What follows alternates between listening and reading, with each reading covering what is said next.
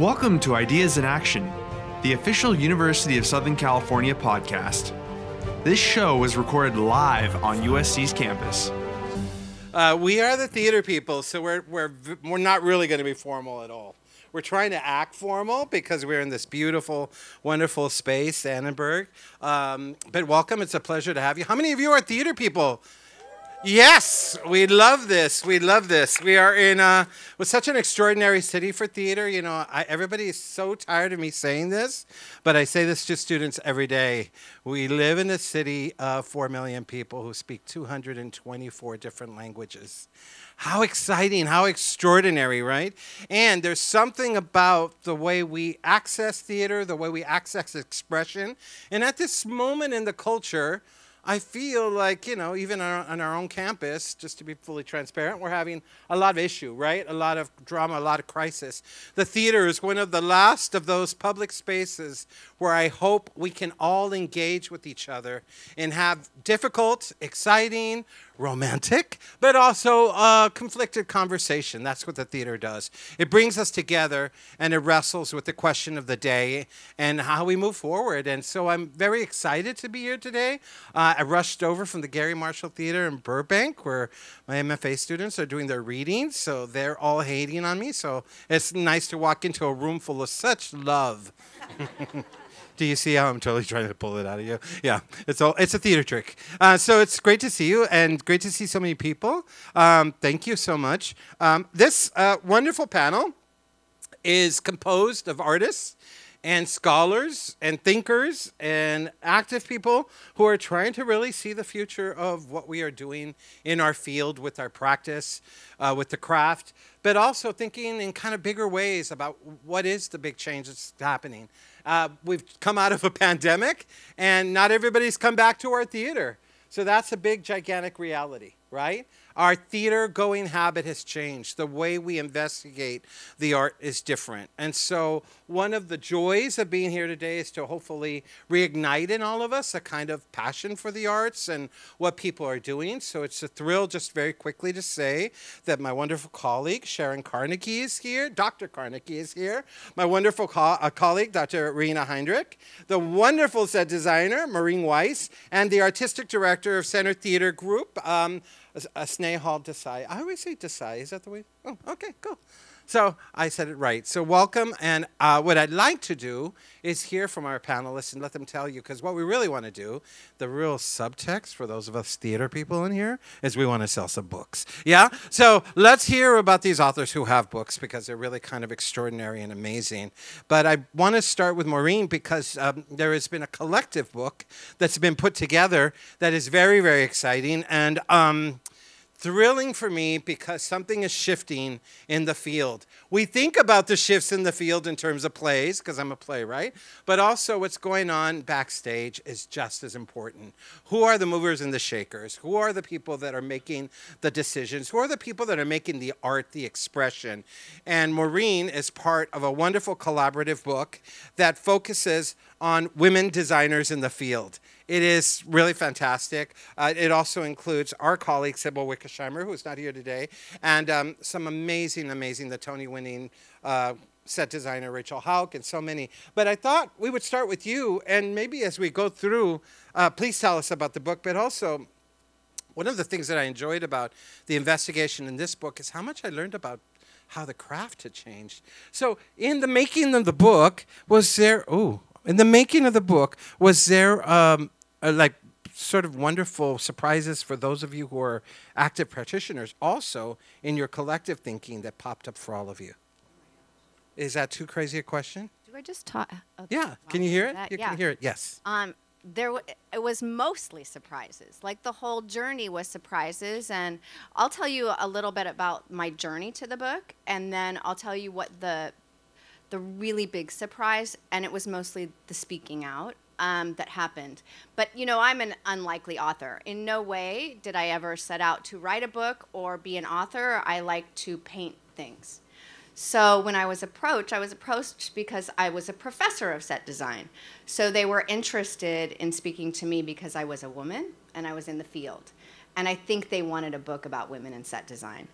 Um, And I didn't want to take that on alone, so I went to Sybil Wickersheimer, who is at USC, and I would never have done this without her. But we sat down and we really like thought about what that meant to write a book about women in set design. And in the end, we decided we didn't want to call it that, but we did want to call out the book that we had as undergrads. And it was the only book available when I was an undergrad and studying. And it was called American Set Design. And there were two of them American Set Design 1 and American Set Design 2. and um, American Set Design 1 had one woman, and I think one person of color. And American Set Design 2 had two women, and I think two people of color. and uh, so Sybil and I said, let's just take that book and twist the percentage. So we do have one man. And we have um, Ed Haynes, who, who is an amazing designer. Um, and then we have a 40 60 ratio of designers of color.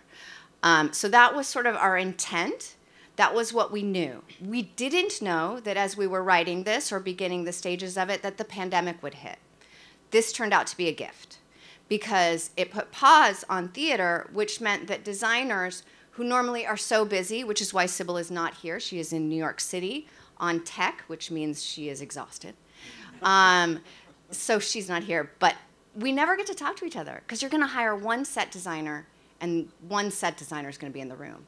So we actually got to have these conversations. So we decided that we didn't know what the book was going to be, but we were going to reach out to people we'd never reached out to before. And I just had a list of like a wish list of people that I wanted to talk to in the field. And that's what we did.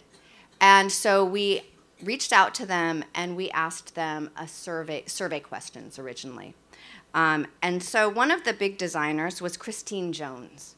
And so I'm going to just read like a little bit of what came back from her survey that started us and our momentum of what we, what we were going to learn from these amazing individuals. So this is a quote from Christine Jones. And Christine Jones is probably most well known for the Harry Potter plays. So she designed all of those. And she says, I always tell people that if I wasn't a stage designer, I wouldn't be any other kind of designer. I am not in this for how it looks, I am in it for how it feels.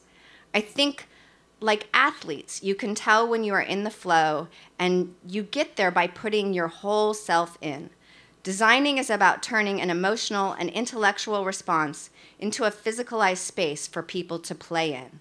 You have to build it out of air but it has to carry the weight of the world you made. It needs muscle, both of the heart and the hands. Like when Sybil and I received this from a survey, we were like, let's go. and we just invited, so we curated um, conversations based on topics. And if you go through the book, you'll see that there's chapter headings.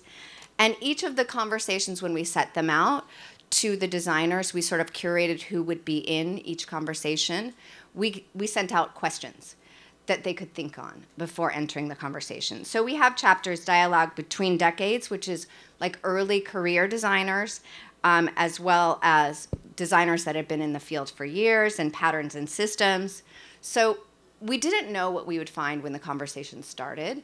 Um, but it turns out, even though we're techies, we like to talk a lot so there were three hour conversations, and Sybil and I recorded all of them.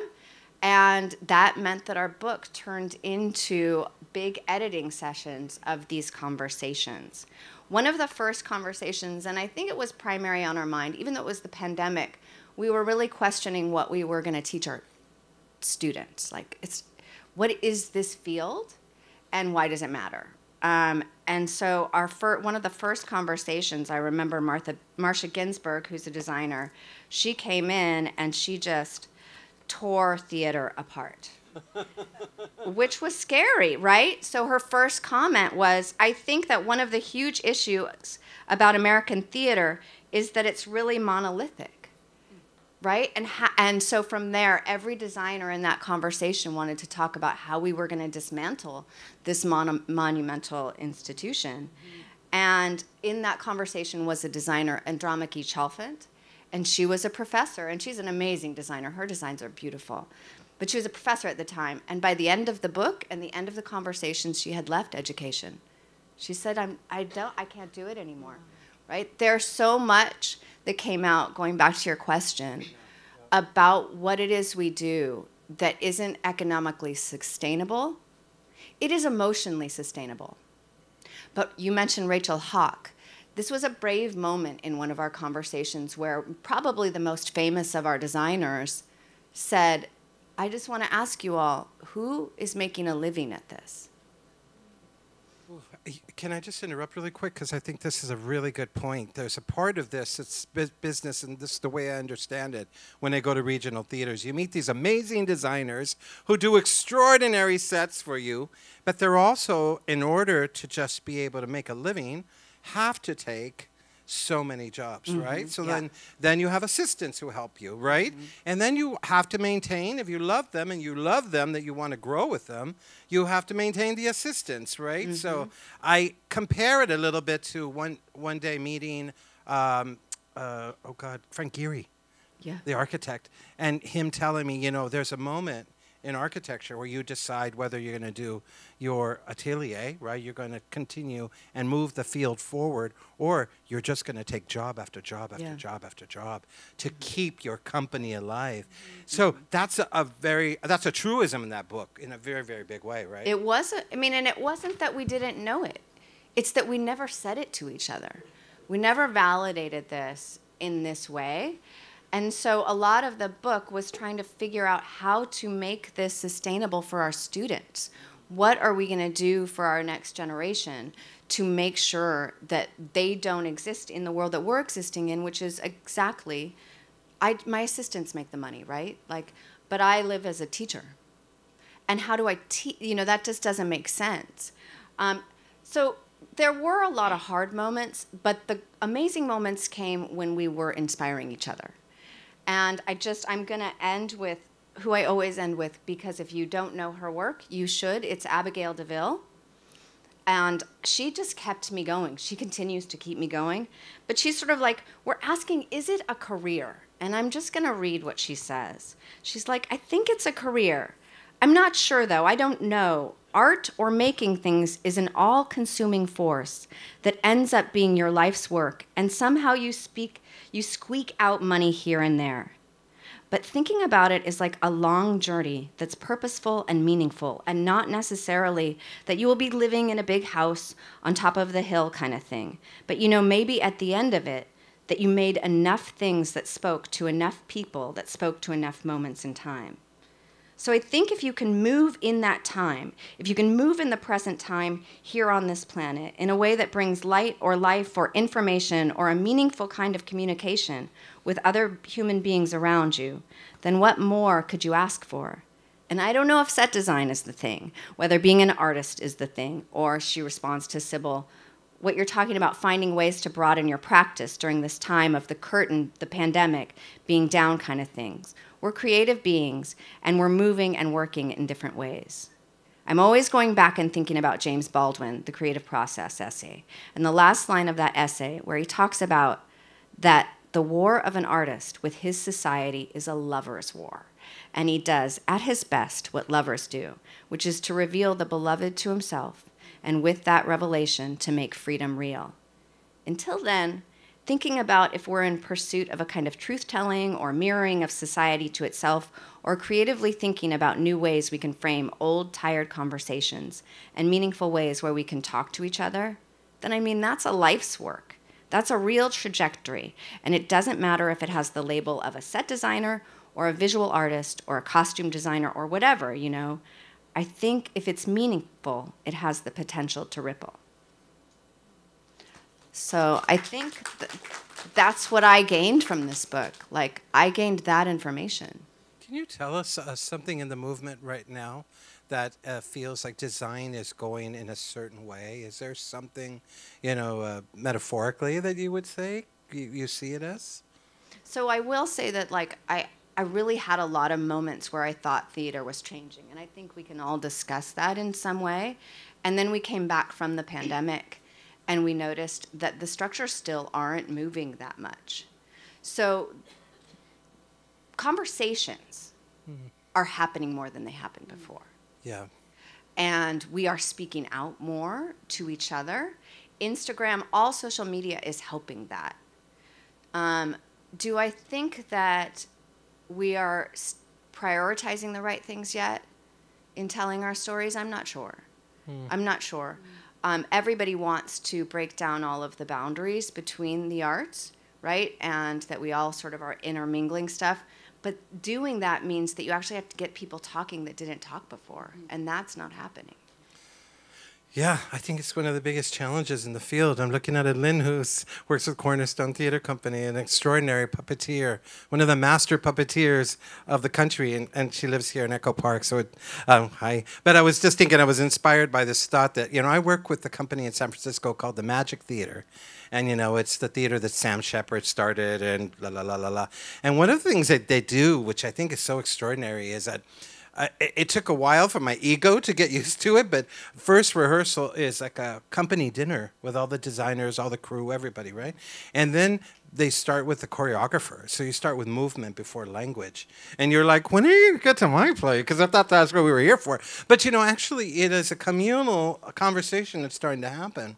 And one of the ways that we can take care of each other is to say, um, we know how much it costs to build these sets. We know what it costs to Right. to make all of that work happen. How do we bring you into the room in a way that feels that, that we're actually still engaging in your art form in a way that feels real to you too? Yeah. And that is spoken about by a few designers that they used to the practice was much more we're all in the room together. yeah.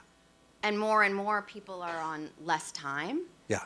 And so we're never in the room together anymore. So I hope that it goes back to that because that is where it happens. Like you cannot truncate that part of our process mm-hmm. because when you do, it's just this you don't get great results from it anyway, but it's money that they're lacking, right? And there's a lot of talk from designers in here about like when you see the budgets for our shows, like how much you're spending on materials versus how much you're spending on the people. And it's just it's really hard to deal in those budgets Ooh, thank you for that. That's really sobering, and but it's exciting too. You know, and, and I dig the glasses. Thank you. Um, uh, I, so I want to move on because you know one of the, the the things we're talking about here here is also our connection to the academy, right? So I'm a playwright who does the same thing you do, right? You work at LACC, and um, you know I, I make I make my living in the academy so that I can go out and do my art around the country, right? So I think that's one of the realities many of us have faced. But we have great scholars in the field, and Sharon Carnicke is one of those scholars. She was my tenure chair, and she was really hard on me, and um, and then I've learned to love her. But I do want to say that Sharon has um, focused on the work of Stanislav. Just asked him for his CV. I'm a playwright. We don't, we don't- we don't know deadlines, right? Um, uh, so you you've been focusing on Stanislavski for a long time, but also this new book is talking about acting in, in a whole other way. And can you talk about what you're attempting to do with this new book for us? yes. Can you hear me if I don't use the? Um, I think they're recording it. Oh, you're recording it. Okay. Because I'm a little bit worried about juggling things.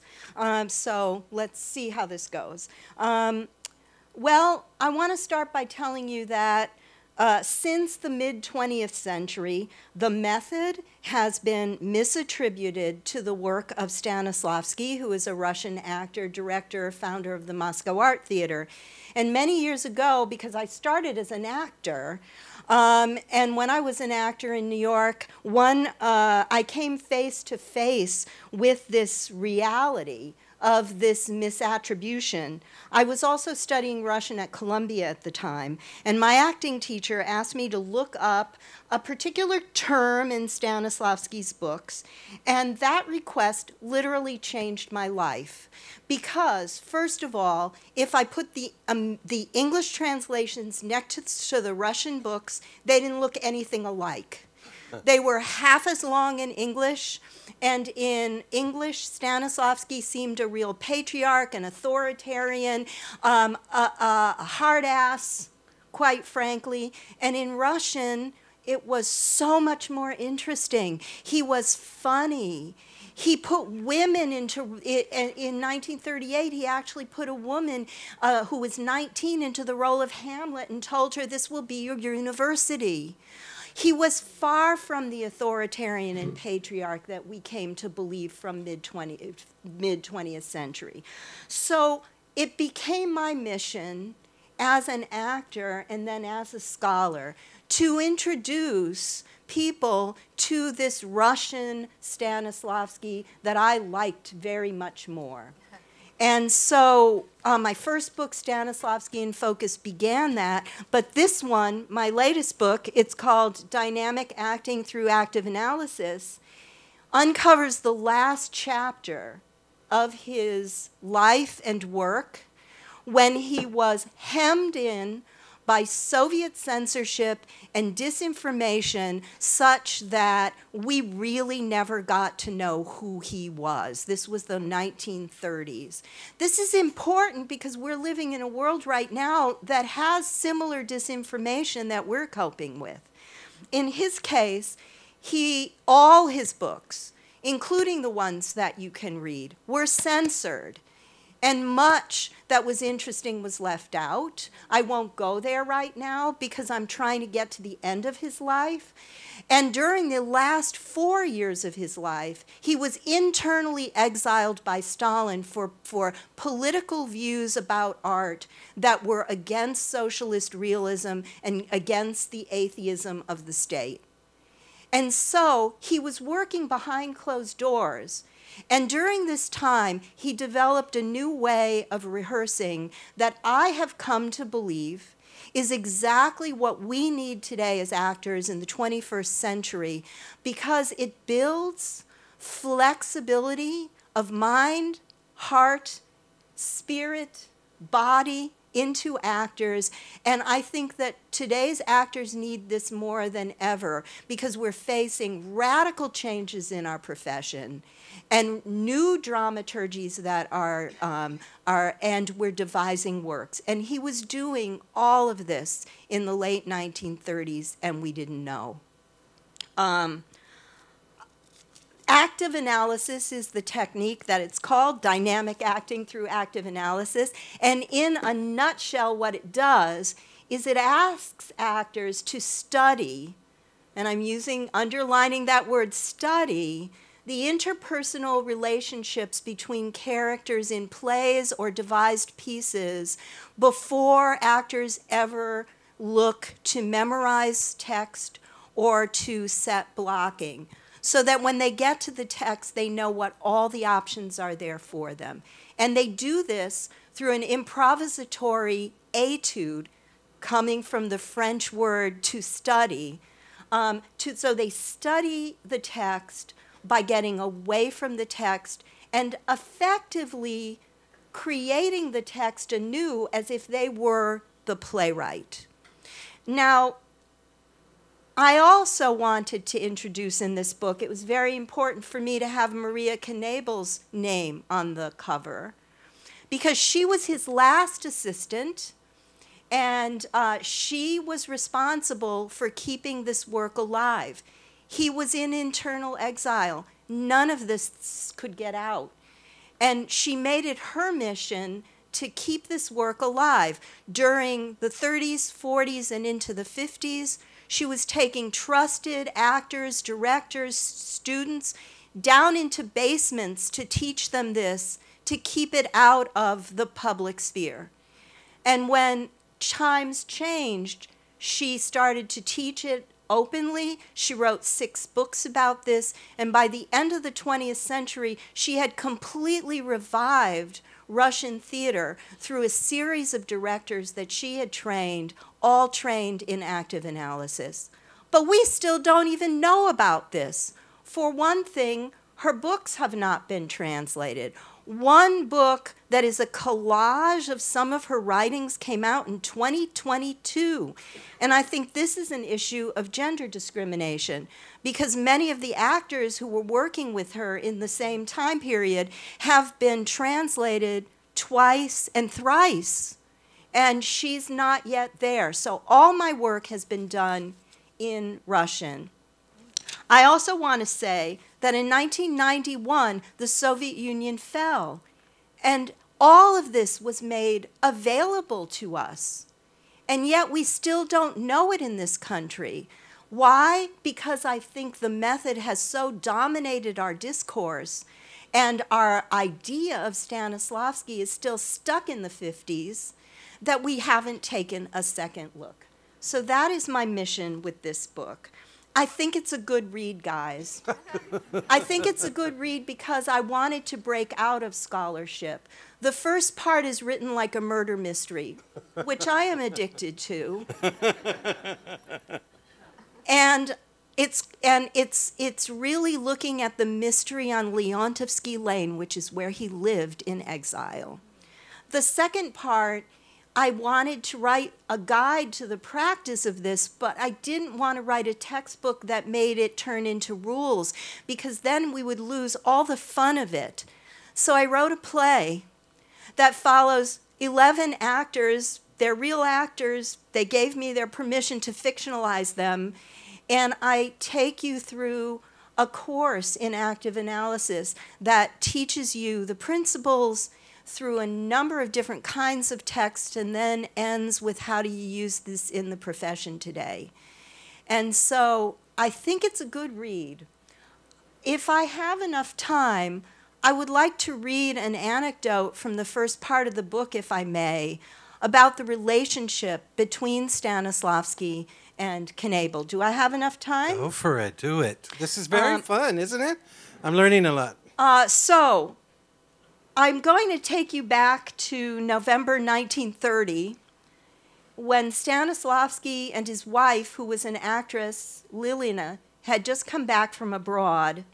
And in their absence, Maria Knebel, who was at that point an actor at the Moscow Art Theater, had secured the role of Sofia Petrovna Karpukhina in Dostoevsky's The Uncle's Dream. Hmm. Knebel liked this role a lot. She envisioned Karpukhina as a judgmental gossip in the grotesque style. And she threw all her passion and creativity into the developing of this character. But as soon as Stanislavski saw her perform it, he removed her from the role and replaced her with Lilina, his wife. When she asked the theater's administration why, um, he, she was only told that Stanislavski uh, likened her Karpukhina to a circus act. Kar, uh, Knebel genuinely admired Lilina in the role. Uh, she loved the fact that Lilina um, was playing remarkably well, gossiping with inspired fervor, amazingly sincere in her righteous judgment but she told another actor in the company, I really wanted to create a different kind of person. Months passed until one day when Lilina fell ill, Stanislavski requested that Knebel step back into the role. She adamantly refused. Moreover, she decided that should Stanislavski insist on her playing the role, she would leave the Moscow Art Theater. Upon hearing of this, Stanislavski immediately summoned her to him, and as she stood in attention in his presence, she felt like a pupil being questioned by the principal. Is it true that you want to leave the theater? It's true. Is it only because I insist that you play the role I took away from you? Yes. He looked closely at me, then invited me to sit down in the armchair and gently asked, What are you thinking? But tell me the truth. So she began by reminding him that he thought the work was a circus act. And then she told him how much she liked Lilina in the role. And then she stumbled and she couldn't go on. She was afraid. She thought he was going to say, Child, you must learn from the great actresses. But instead, he simply asked her why she had stumbled in her, in, in her explanation. So this emboldened her, and she said to him, You yourself taught us that we must do only what we can believe in. Otherwise, we embark upon a path in art that leads us to the copying of others' work. And even though I don't have Lilina's experience or her technique, I will not copy her. After a long silence, Stanislavski asked her to explain how she envisioned her Karpukhina by speaking as the character to him. So this is what she started with. So then I, Sophia Petrovna, drink four glasses of vodka in the morning and the same number in the evening. And then after my usual appetizer, my full soul feels so emboldened. And as Stanislavski listened to her, he began to react as if he were her acting partner, um, wagging his finger, nodding in sympathy. When, the, when it was over, Stanislavski told her, Now I understand what you wanted to create, but I will reaffirm that you did not succeed with it on the stage. The grotesque in its style, with its extreme contrasts and sardonic humor, is the highest level of art. And I have um, tried to create the grotesque, and I have only succeeded with it once. Stanislavski then turned his attention to the style that was fashionable that in those days. Nowadays, he said, we don't get the grotesque, we only get the grotesque in quotation, mark, quotation marks. And that's awful. Was he thinking of the alternative theaters in which she was then directing? Finally, he gave her some advice.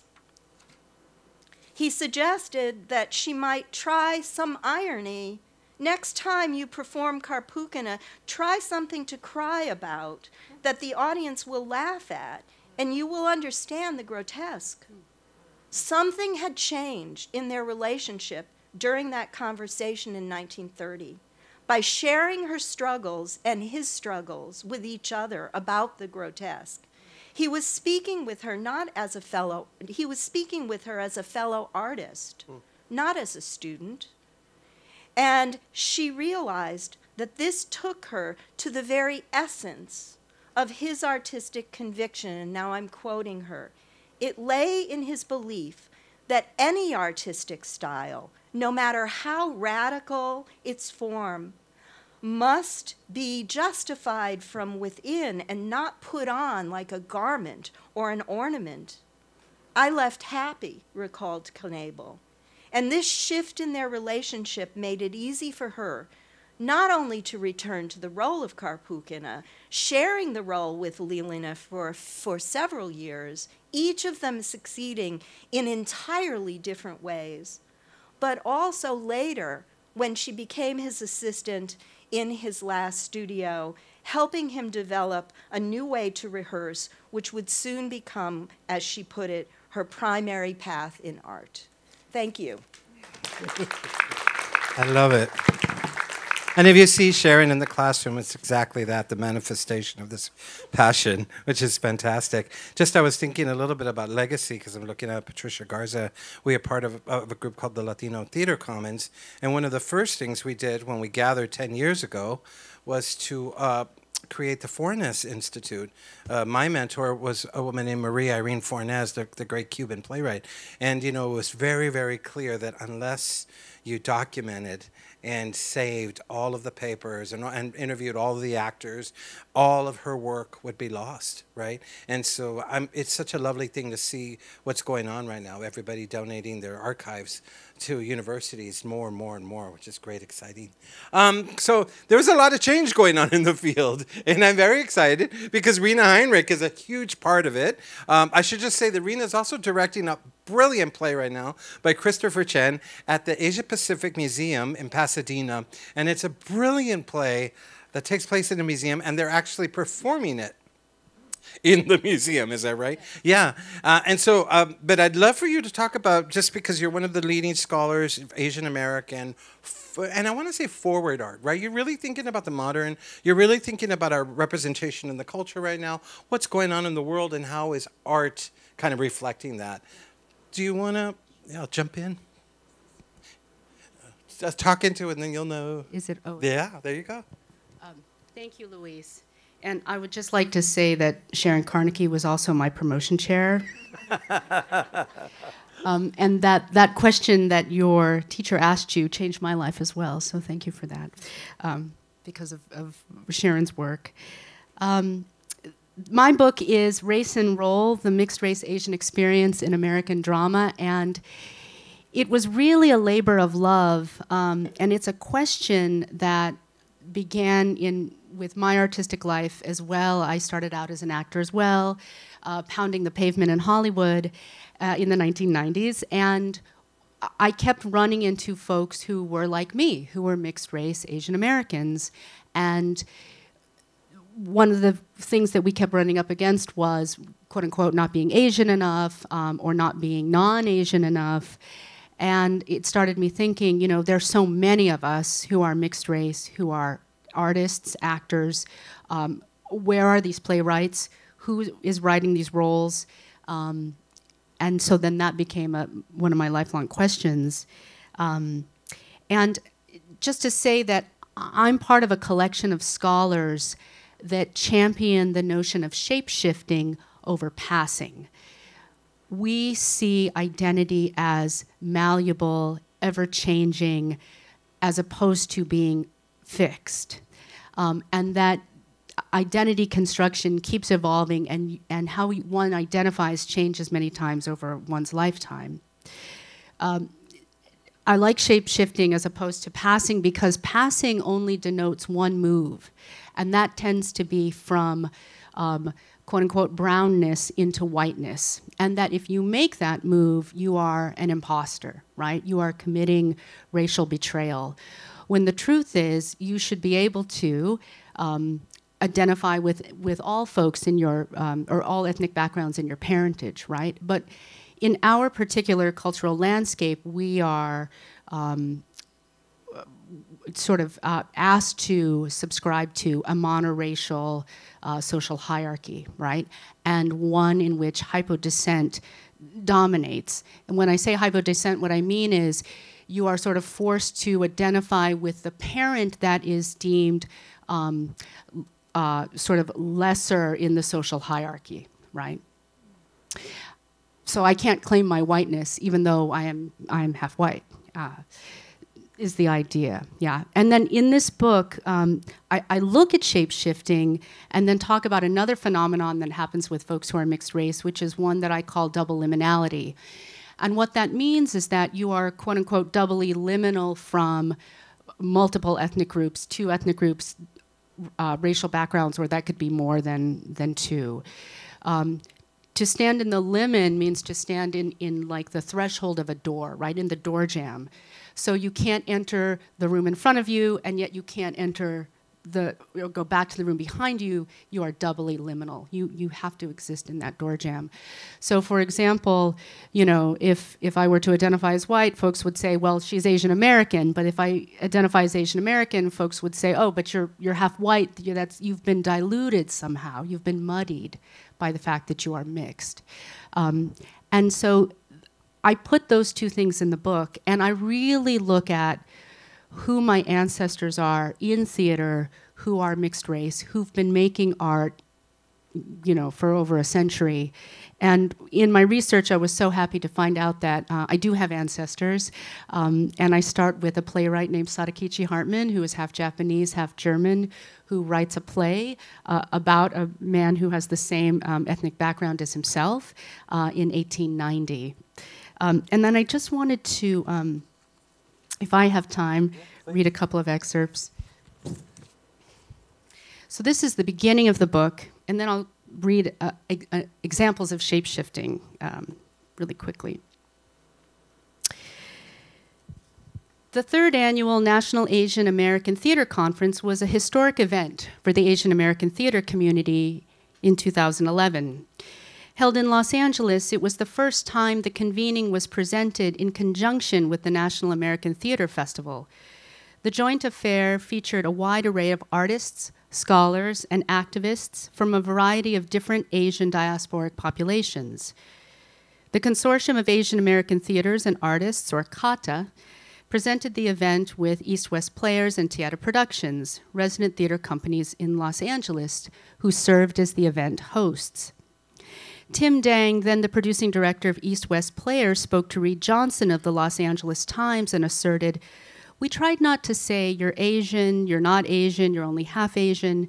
If you would self identify as Asian, we welcome you into our community.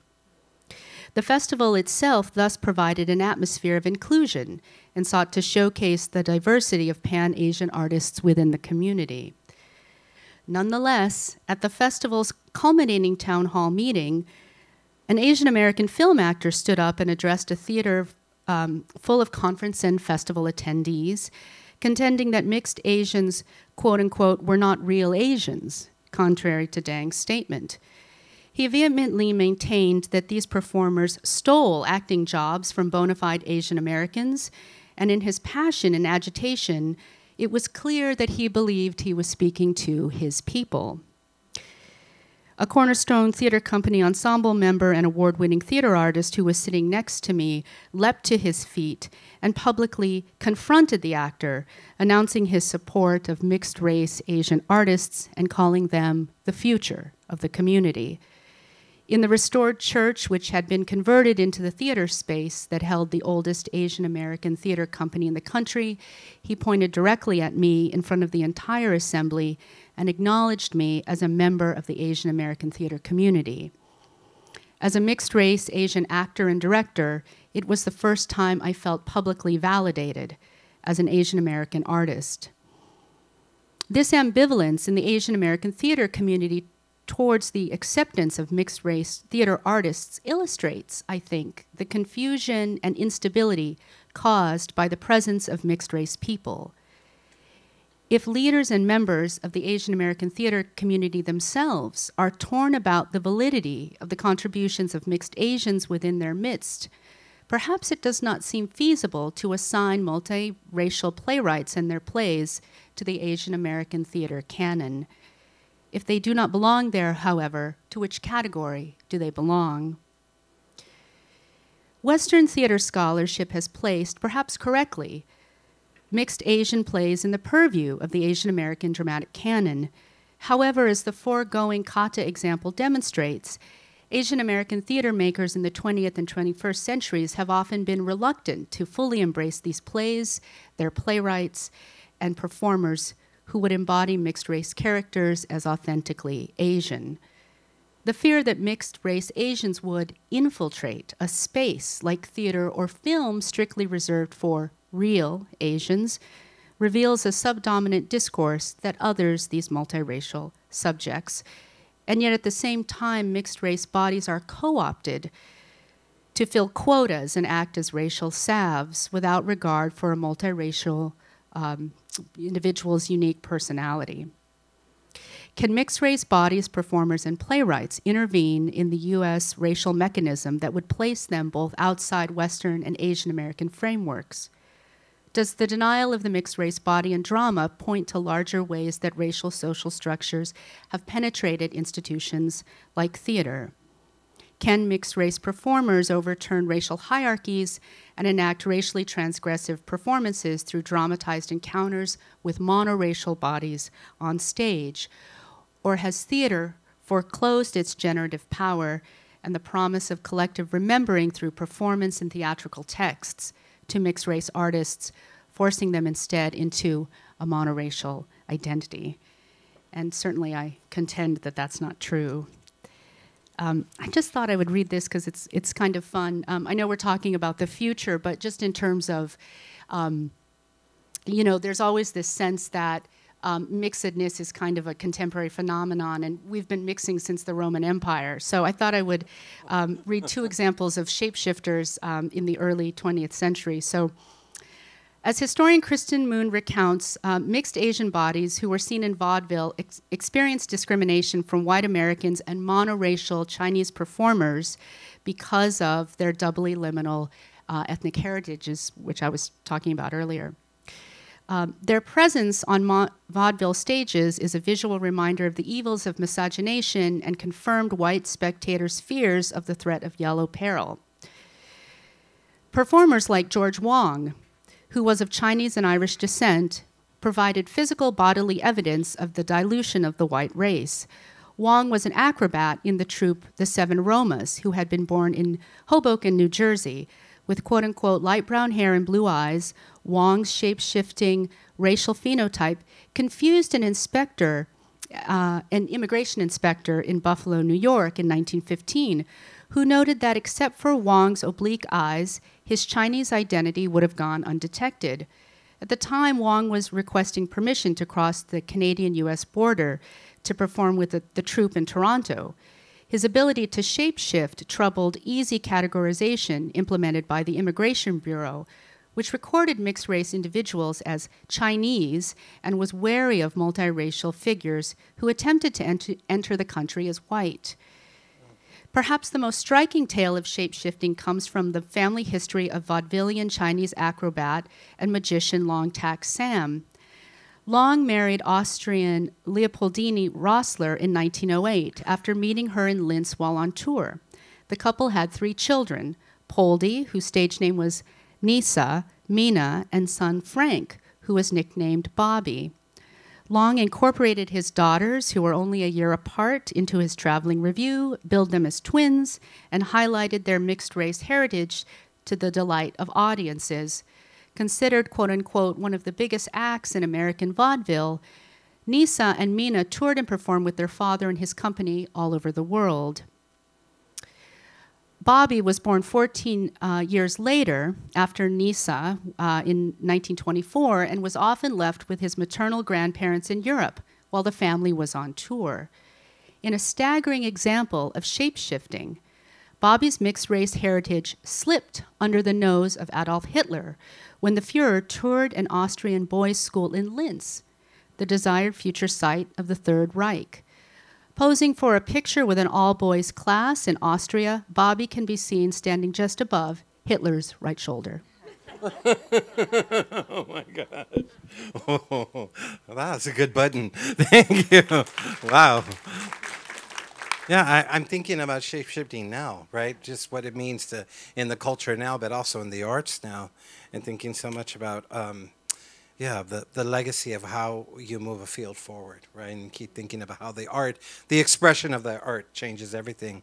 Um, wow, well, we, I'm, I'm really excited to get to Snehal because um, we couldn't be talking about the future of theater without the artistic director of Center Theater Group, the, the arguably the largest theater in, uh, in the region, but also um, to talk about vision and talk about future is really, really hard right now. And you're seeing it. Uh, we have a, an extraordinary, extraordinary community uh, ecosystem of a lot of smaller theaters. And then we have uh, not that many mid-size. And then we have these big theaters, right? And here you are in the biggest, and it's been a challenge. You just started. I am so, so grateful that, that he took on this job and uh, walked into it right at the moment when you had to shut it down for a year, right? Which is so insane. But um, as you're listening to this and as you're kind of working to this moment in what's happening in the country, but and also especially in the city. What are you thinking about the future of theater? What is popping for you? Great. Can you hear me? Okay. Yes. Um, first of all, thank you all. That was inspiring, and it was such a. It's so great to. I mean, I think what was as we were walking over, we were talking about um, how as folks graduate, the first thing they gravitate towards is realism, right? They, and so, um, and I keep thinking about how limited in the spectrum of storytelling we continue to be here, particularly in the American theater. It's so um, realism and naturalism tied and then as soon as you break apart um, there's so many different ways and avenues you can go in terms of storytelling and i think um, as we continue to push ourselves because we you know if you want to see realism and naturalism you could just see it in tv and film right? We can't compete with that um, especially on a budget as we were talking about with scenic design. So it, it's kind of how are we going to open up the avenues of experience and storytelling outside of what is just naturalism and realism? Um, because it's not about competition with other uh, view, ways of storytelling. Um, and then i keep always thinking about how also um, particularly here, storytelling for us continues to be a linear thing, whereas in most parts of the world, it's a cyclical thing, right? So when you tell a story, it's in cycles or in circles mm-hmm. um, of being because you believe your worldview is cyclical, uh, but Western worldviews are still very linear. Um, and I think as we continue, and that's where it's exciting about the work you do, because as you if you're someone who's mixed race, you're the embodiment of that clash of those two, you know what I mean, of those two cultural identities. Um, and what's exciting is when then artists birth something new, you know what I mean, at that nexus. Um, so, I, you know, there's, there's a couple of things I was thinking about um, as we were doing this. And, um, you know, it's it's a question of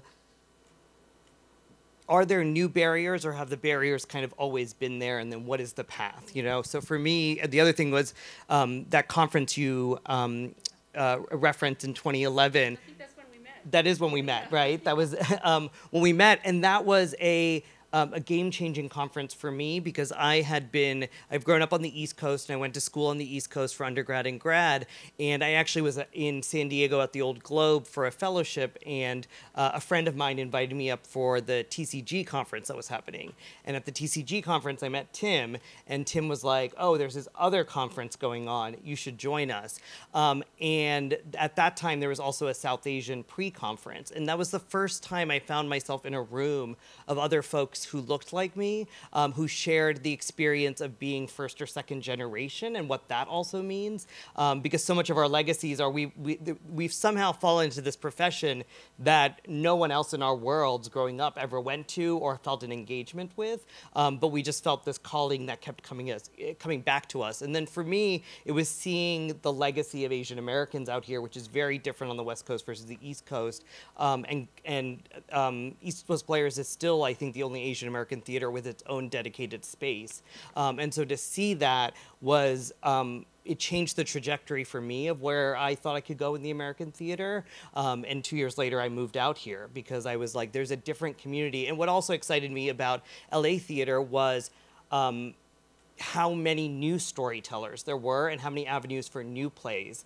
Um, because at that time, the model was much more economical. It had many issues. Um, and I think what's happened since the pandemic now is we've seen a decrease in that. Um, and I think the thing that we know is for artists is the only way you grow is by working, right? By doing the work and production, getting to a stage of production is an important part of that development. Mm-hmm. Um, and I think what happens to designers is it goes to the other extreme of you're doing five shows at a time. Um, and so you're never allowed to sit in it.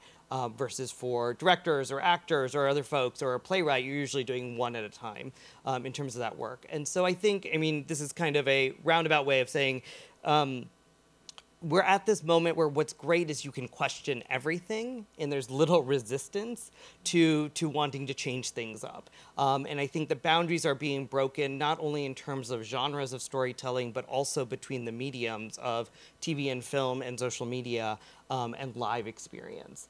Uh, and I think what we realized during the pandemic, or what we, you know, what we found, which we all know, is that nothing can substitute for actually being physically in space with others, and that that is a human need that I think you know what I mean. We all knew, uh, but what happened is we lost the trust and the safety of being together with other folks, and so I think that's one of the first things that has to be reestablished. And and your vision for the theater as you're moving forward, do, are you able to sort of push against uh, the notion of whatever the well-made play is, or like I'm looking at Lynn. I mean, are we going to see a season of puppetry, right? Or can we uh, like what's happening in projections, for instance, is so extraordinary, right? But the way we hear a story in the theater, the way a story manifests, I love this this notion you just brought up because you know at the moment when I really needed to change as an artist, I just went to the Guthrie Theater and I saw Nagala Mandala, right? And it was one of these plays that goes like this instead of like this. It like I think somebody dies and gets reincarnated as an animal, right? And so you're kind of like, wow, you could tell a story a different way, right? And so I just wonder, as as a leader of this huge institution, is it possible to push forward towards um, what I think Los Angeles really is and, and struggles with a world theater. How can we do that? Yeah. Um, I think we're thinking a lot about it at CTG, and I think some of it is tied actually to what is also happening in LA over the next few years. So we have, you know, we are um, an international city and we have the World Cup coming, we have the Olympics, and particularly with something with like the Olympics, you can't just be producing language based work, right, for accessibility. Um, and I think what will bring back folks is things that um, incite again that sense of wonder and awe that we have, right? I think the best night of the theater is when you feel like a child again. You're giddy, or you want to talk about something, or you saw, you know. I think the other thing is, are you just rediscovered beauty of in new ways, um, and that can be physically be based on design or aesthetically between characters and storytelling. Um, and I think that is something that will drive the scene, having those things over the next few years, because I think the big question for us is how do we want to greet the world when it shows up here, right? And when we did the Olympics in 84, that was a lot of bringing international artists here. And I think the movement feels how do we actually lift up the artists that are already here? Because we do have them in LA. And I, I, so what is that framework? And I think the framework of our spaces is oftentimes one of the challenges. Um, and for me, it's just leaning into the tension, right? One of the tensions I, for a lot of my career, was a burn it down person, right? I was like, there's no place for me, just burn it down. And now I have folks who are like, burn it down. And I was like, but I just got here, right? Like we just got in into the space, into the door. You know what I mean? Why are we burning it down? Um, why is there not ways we can change it? You know what I mean? Inside and outside. Um, and I think that is also an inherent tension for so many of us is that our careers are wanting to be at some of these spaces. And we get there, and sometimes the journey is I'm here, and okay, actually, I don't need this space, or I want to do something else. Or I am here, and I do want this because I can do something different um, in these spaces. And so I think it's about leaning into that internal tensions and conflicts that we have um, that will spark something new. Yeah, I was just thinking, you know, I was very, very privileged and lucky to be part of the, the mayor's office, is, you know, convening these meetings to talk about what are we going to do. What, what is an LA Arts Festival? And one of the, the commitments from the mayor's office, which I thought was really interesting, was they're not going to build any new spaces to feature that art because there are enough spaces in LA, we know, to feature art, right? And one of the exciting parts of that was like a space in LA that could feature great art is the swap meet in Compton and you could go see a dance company there, and that would be very much in line with LA, right? So I think one of the exciting things that you're talking about is how can we take this space that we have and now start to uh, feature what's organic in the space, what's organic in the community, and see how it pops into our spaces in ways that feature what each of these uh, scholars is talking about, right? How do we take that space into the future without changing it? Really, are we unpacking? Yeah, I mean, the other thing that's tied to this period is um, nostalgia is a very powerful intoxicant and i think we're looking back over these you know what was over the last 10 or 15 years through rose colored glasses and it wasn't great for everyone and it wasn't inclusive for everyone and it wasn't a model that was sustainable we, but we were able to kind of gloss over it um, and now we're at a time where i think that's what's you know what what's exciting about what you're doing with is are you doing caught is that what you're yes. doing? Yes. Yeah, yeah, is that any space can transform into a theatrical space right? Because all it takes is someone telling a story and someone else watching. Um, and we live in a city where there's no shortage of space like other places and you could do so much outside but we've forgotten all those things that we kind of sparked during the pandemic. And i think if we're able to do that again i think that will transform because that will also transform the access of like you walking and seeing something and stumbling upon it is a different invitation than buy a ticket and come here at this time. Yeah, I think Los Angeles, my controversial view of it is Los Angeles doesn't have a center or a heart. Los Angeles is a series of border towns. We have 88 neighborhoods. Imagine if you featured a different performance in each of these 88 neighborhoods. Each one of us would change and expand in the way we think about it. Speaking of the good old days, the good old day of this of this panel is over. And I so I want to thank you all. Man, this was really fast I hope you uh, got something out of this. I hope you will buy these books. I hope you will continue to support the art. And thank you so much for being here.